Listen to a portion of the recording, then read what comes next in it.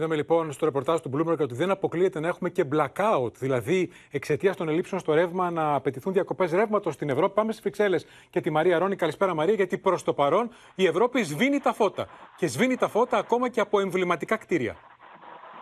Έτσι είναι και ειδικά στο Παρίσι τα φώτα θα σβήνουν τρεις ώρες νωρίτερα σε μνημεία και σε μουσεία στην πόλη του φωτός. Από σήμερα το Λούβρο και το Παλάτι των Βερσαλιών θα σβήνουν τα φώτα στις 10 το βράδυ και από την επόμενη εβδομάδα τα φώτα στον πύργο του Άιφελ θα σβήνουν λίγο πριν τα μεσάνυχτα στις 12 παρατέταρτο. Αυτό ανακοίνωσε η Υπουργός Πολιτισμού της ε, Γαλλίας, η οποία είπε ότι το να σβήνουν νωρίτερα τα φώτα σε αυτά τα μνημεία είναι ένα δυνατό ε, συμβολικό μήνυμα για να ευαισθητοποιηθεί το κοινό για την ενεργειακή κρίση.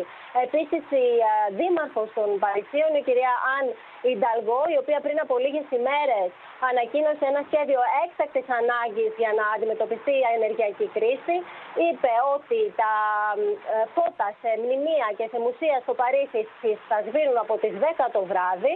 Ε, ενώ ο θερμοστάτη σε δημόσια κτίρια κατά τη διάρκεια της ημέρας θα μειώνεται στους 18 βαθμούς Κελσίου και στους 12 βαθμούς Κελσίου το βράδυ. Είναι ένα σχέδιο για την εξοικονόμηση όχι μόνο ενέργειας αλλά και χρημάτων για την πόλη του φωτός.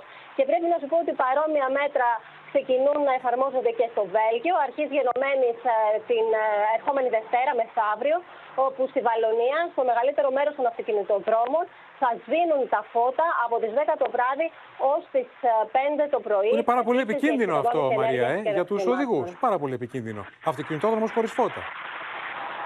Όχι σε όλα τα σημεία. Στο επικίνδυνο σημεία και σε κόμβους κρίσιμους θα παραμένουν ανοιχτά. Πάλι καλά. Αλλά θα εξοικονομηθούν αρκετά χρήματα με αυτόν τον τρόπο.